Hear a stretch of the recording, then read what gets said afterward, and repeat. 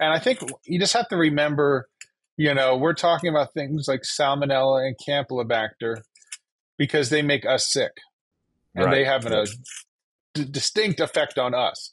But largely, they don't affect the bird.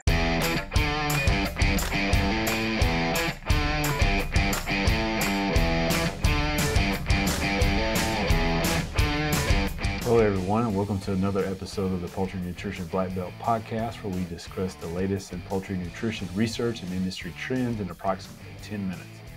My name is Sam Rochell, and I'm an Associate Professor of Poultry Nutrition at Auburn University and one of the co hosts of the show.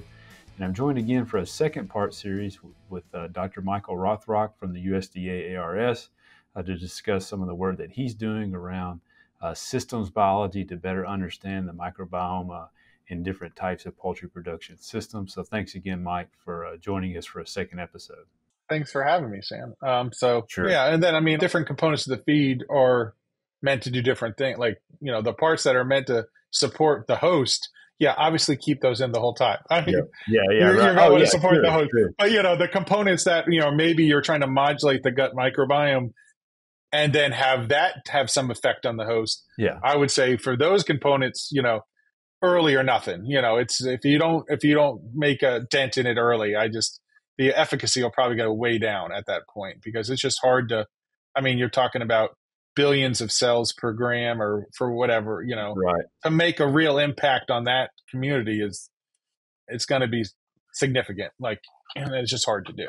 Very interesting. Um, anything else as far as you know, major takeaways that you've learned from from this work that you think could apply across all types of, of systems?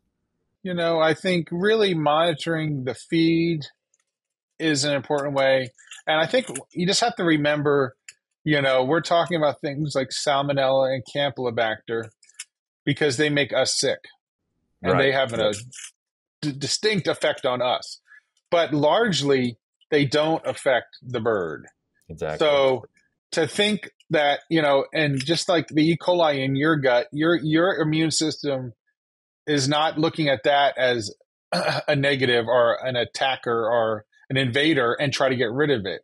So some of these things, just because they're making us sick, if they're not making the chicken sick, the chicken's not going to really to expect it to react negatively to something that's just a normal commensal organism it isn't going to happen. So I think right. keeping that in mind when you're trying to develop some things, you know, maybe, you know, a better a better way. I don't know about better, it's probably a bad term, yeah. but you know, a more effective sure. way to start thinking about these these microbes because really, yes, can some salmonella make chicken sick? Yes.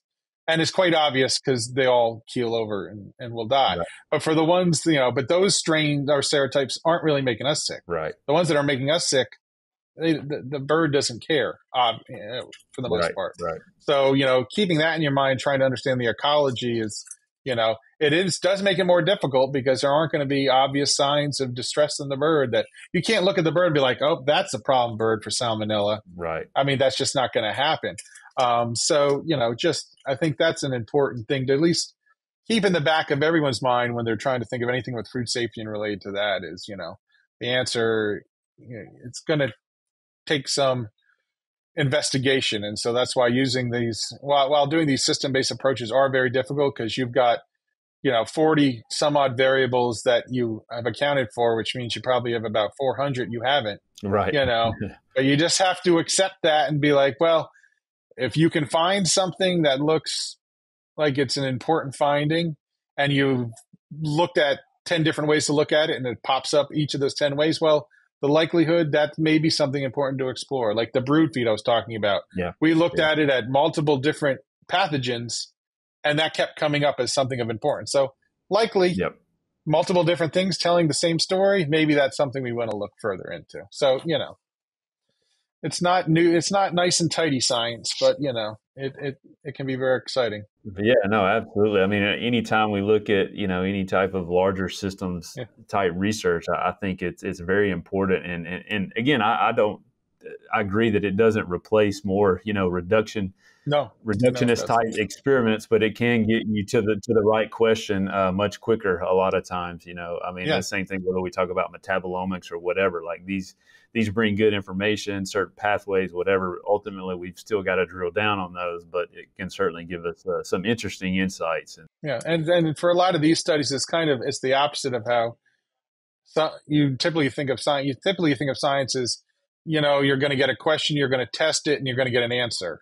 Yep. Whereas a lot of these studies are you're going to go out and see what's there and then use that to develop the questions that you're going to later test. Exactly. So, yeah. you know, and that's just a different way of attacking science. Yeah. Um, and, you know, and they both are equally valuable and they yep. tell, you know, it's just a matter of which way and what your question is, you know, does, does product X affect organism Y? Well, that's a very t- tight study. Yep.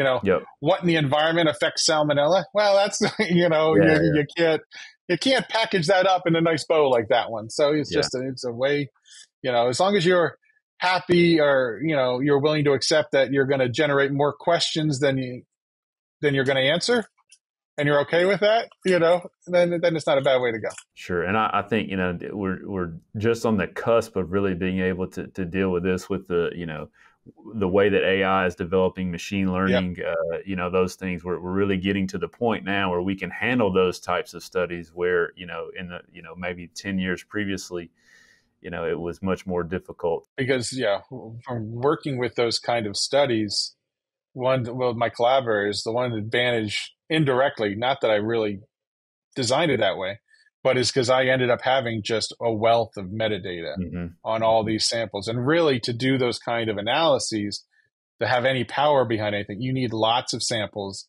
and lots of sure. data for those samples. So, right. you know, as we move forward, if we want to use those tools, we just have to keep in our mind, well, if you want to have them be a have any kind of effective outcome or predictive capability, it has to be backed by a whole lot of data points. Yeah. And, yeah. you know, just remember that when you're trying to add your data in, it has to, you got to have a lot of data there. Elevate bird well being and improve profitability with Cargill's tailored nutrient solutions that deliver performance. Cargill is leading through applied nutrition, leveraging deep nutrient insights and understanding of the animal's nutrient requirements to achieve your production and performance goals. And you know, fortunately, that's one thing we have no shortage of in the poultry industry. Uh, I mean, there, there, are a lot of data out there, and we probably haven't utilized it like we should. And and I mean, a lot of these things, especially when we talk about the microbiome or even you know subclinical challenge of any type of pathogen. I mean, yep. in research facilities, it's so hard to model that. And so, uh, you know, even when we do design tight experiments, it, it's really hard to model what's happening, whether that's in a conventional system or a pasture. And so I think, you know, this is where the real opportunity, okay, these questions that we haven't really been able to, yeah, we can do a, a severe challenge or, a, yeah. you know, make a big change and move the needle. But like uh, really seeing how these things are kind of interplaying, I, I think this is the a really interesting approach. So. Way to go. Yep. 100%. Well, great. Well, hey, I appreciate uh, the time today. Uh, this was a very uh, interesting uh, interview for our audience, and so I'm sure they're going to take away some some big picture ideas. And so, so thanks again for your time and, and the work that you're doing. Oh, well, thank you for having me. And I'm assuming my contact information will be associated with this somehow. And so, if anyone out there has any questions, feel free to reach out, and you know, I'll try to chances are I may not know the answer, but I may know people who do. So I have no problem facilitating that kind of uh, right. answer for everyone. So, uh, thank you for your time and attention. Yep. Thanks, Mike. I really appreciate what you're doing. Uh, really interesting information. Uh, appreciate the uh, joining us again to tell us about your work. And to all the listeners, uh, thanks again for joining and look forward to seeing you on the next one. Thanks again. Hey everyone, we're always searching for the latest and greatest research to share each week. And if you have a poultry nutrition related research trial and would like to come on the show and talk about it and share it with us, feel free to email the research link, uh, the paper where we can find it, or the abstract to hello at wisenetix.com. That's hello at wisenetix.com. And I look forward to hearing from you.